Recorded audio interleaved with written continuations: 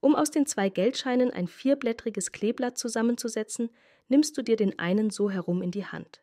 Den zweiten Schein nimmst du hochformatig in die Hand. Dann klappst du vom ersten eine Herzspitze so nach oben und steckst in diesen Zwischenraum den zweiten Euroschein so hinein.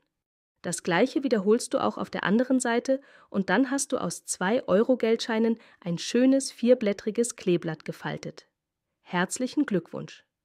Wenn du an mehr Geldgeschenkideen und Origami-Anleitungen interessiert bist, dann abonniere gerne gratis meinen Kanal. Ciao!